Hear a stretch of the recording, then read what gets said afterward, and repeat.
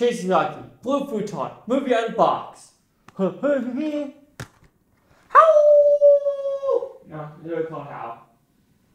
Have I seen this movie? No. But we go watch Howl now you know if it's worth howling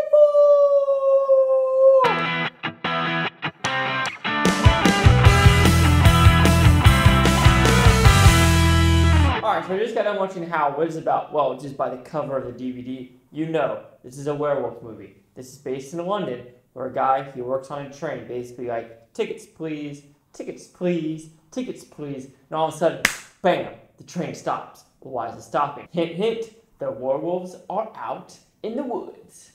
And will they be able to survive these maniac creatures of werewolves? So what I like about this movie, well, the creature design of these werewolves are very different.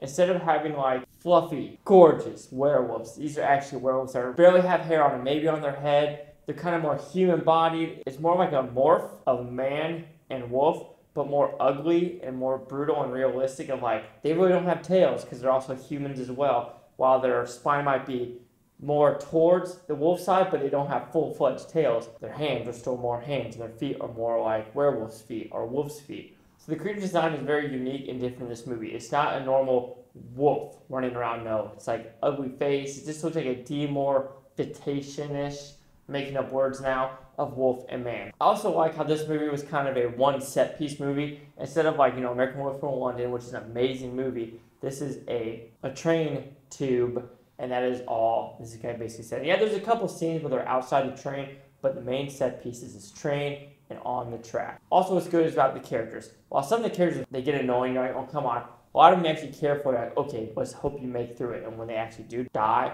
you're like, oh man, I kind of wish that person would have survived. And I do kind of like the ending of this movie of what they actually went for.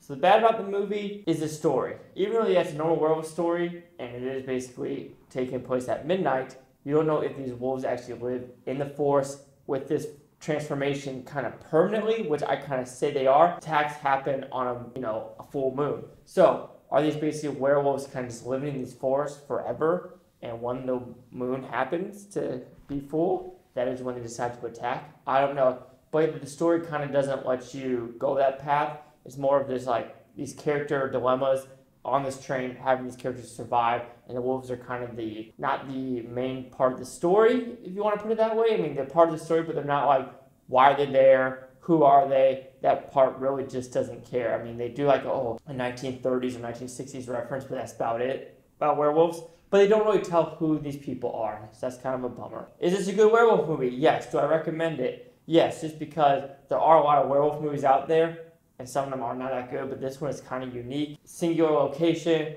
and these are not typical werewolves, and it's kind of fun. The gore is also pretty good in this movie, as well as you kind of vote for some characters, and you want some characters to survive. That's always good in a movie. So good about the movie. Direction's great. Sometimes good. I like how they didn't do a lot of green screen. Of course, they do some green screen, but the actual monsters are real as much as they can, of course. They have to do some CGI for some of the face, like movements and everything. Bad about the movie, some of the story is like, eh, I want to know more about it, and some of the characters are just flat out annoying. While some of you want to survive, some of them you're like, just die already. Just die. You're annoying, and get out of my way. So Howl will receive a 3 out of 5 blue futons, which equals to 60%. Let me see what the critics user scores gave this movie. You're going to user score the 37%, critics 64%, and no critic consensus. Well, I can see why some of the users probably didn't like this movie. They probably didn't like how it wasn't a, the same werewolf story. It was more of like a hybrid. As well as the ending, I can see people not liking the ending, but I kind of dug the ending of how they actually decided to conclude it. So I don't know why they score so low in this one. I mean, it is a linear story, a werewolf story. Good location, in my opinion. I don't understand. I'm more with the critics on this one. Just I had a good time with this. I could be biased because I love werewolf movies. They are. That's my one like Wolfman. That is the one Universal horror monster movies I always go to as the werewolf ones. But do you agree with my 60? The critics 64 are the user scores 37. Chase second the Blue Futon. Like, comment, subscribe. Let me know this Blue Futon Utopia. Your Blue Futoni. Thank you for watching and have a great day. I liked it. So, oh! No, no response.